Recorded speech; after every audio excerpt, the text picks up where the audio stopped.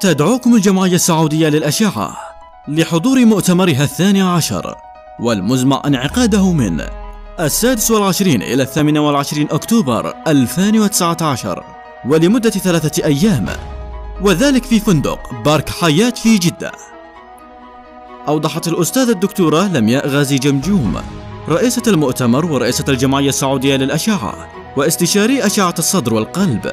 أن المؤتمر يعزز من الدراسة والأبحاث ويحصر المهتمين بعلم الأشعة من استشاريين وأخصائيين وأطباء مقيمين وفنيي أشعة وممرضين وممرضات وطلاب. ويناقش المؤتمر العديد من المواضيع في أقسام الأشعة المختلفة ومنها مواضيع متعلقة بأشعة الثدي وأشعة الجهاز الحركي والعصبي وأشعة الجهاز الهضمي وأشعة الأطفال. وأشعة الصدر والقلب وطرق الوقاية من الإشعاع.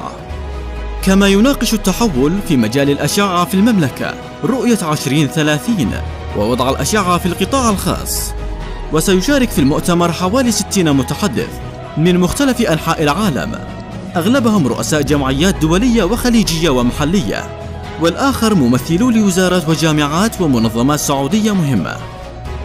كما نوهت الأستاذة الدكتورة لمياء عن الجمعيات والمنظمات المشاركة ومنها جمعية شمال أمريكا للأشعة وعلم الأمراض الجمعية الأمريكية للأشعة الجمعية العربية للأشعة جمعية الأشعة العمانية مؤتمر الإمارات السنوي للأشعة الجمعية المصرية للأشعة الجمعية السعودية للأشعة التداخلية الجمعية الأوروبية للوقاية من الإشعاع. جمعية الأشعة بالكويت الجمعية العلمية السعودية للهندسة الطبية جمعية الوقاية من الإشعاع في العالم العربي الهيئة العامة للغذاء والدواء وزارة الصحة.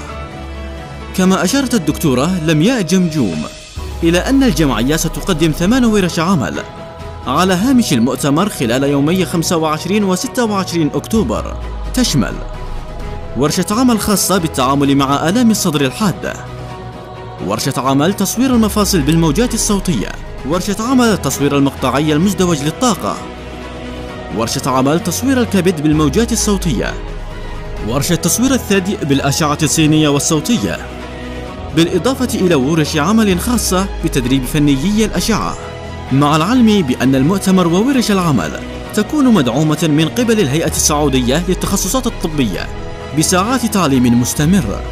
وأخيرا وليس آخرا فإن مؤتمر الجمعية السعودية للأشعة 27 أكتوبر.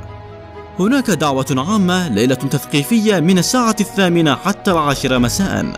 عن سرطان الثدي وطريقة الكشف المبكر والخيارات العلاجية. الراعي الاستراتيجي شركة فيليبس.